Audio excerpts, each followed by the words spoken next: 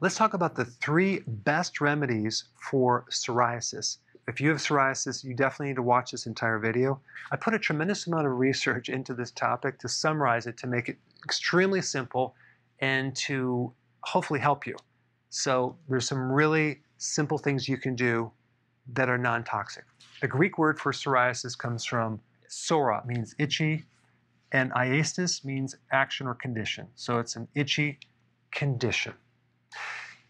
Psoriasis is an autoimmune condition where your body is producing antibodies against itself.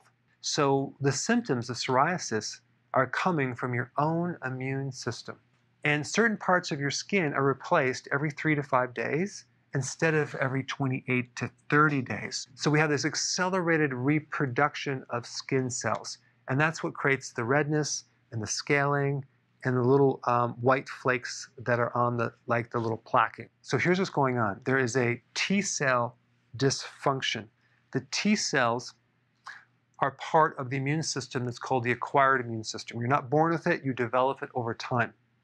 And there's a dysfunction going on, an imbalance triggered usually by an altered microbiome, either in your gut or a really, really bad sore throat, a strep throat, or another infection. And there's several different types of T cells. The one that is involved is the T helper cell, TH17 it's called.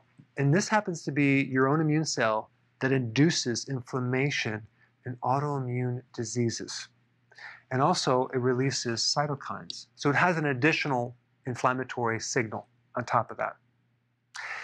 Now, there's other T cells called the T regulatory cells that are involved in preventing autoimmune diseases in the first place, and those are usually suppressed.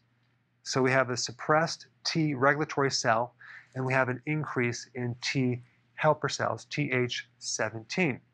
Now, if you do some research on this, you're going to find some interesting data on the relationship between the T helper cell, TH17, and vitamin D.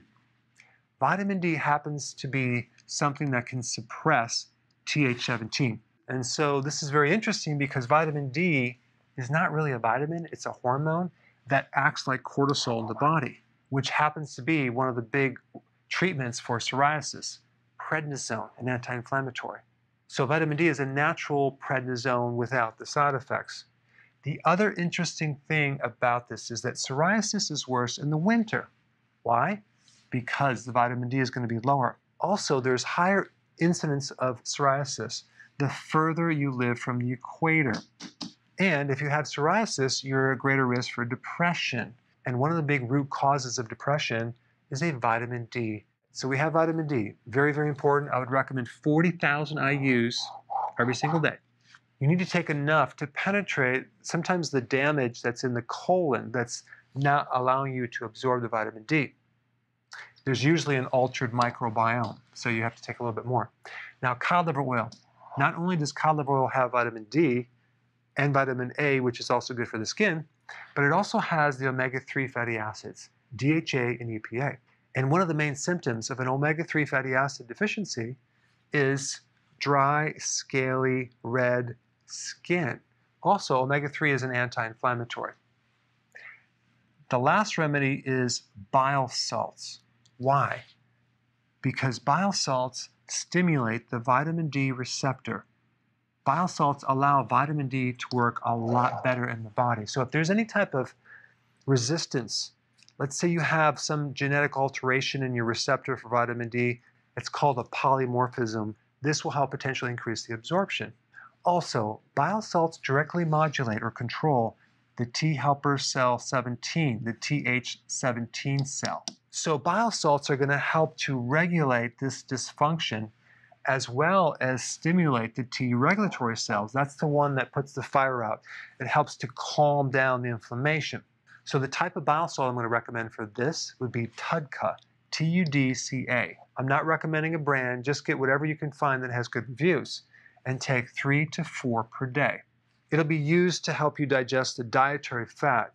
What we want to do is to take an empty stomach so it can actually focus on helping regulate the immune system. And as far as the cod liver oil, take whatever's recommended on the bottle that you buy. And the last two things I'm going to recommend are fasting, very, very, very important for all autoimmune conditions, as well as no gluten at all in the diet. So go ahead and apply this information and comment down below. I want to hear your results. Before you go, if you have a question about a product or you're new to keto and you want to know how to begin keto, or you're on keto and you need a debug because it's not going as smooth, I have a keto consultant standing by to help you. This is just for the people in the US. Hopefully, in the future, we'll be able to answer everyone's call. But I put the number down below so you can call and get some help.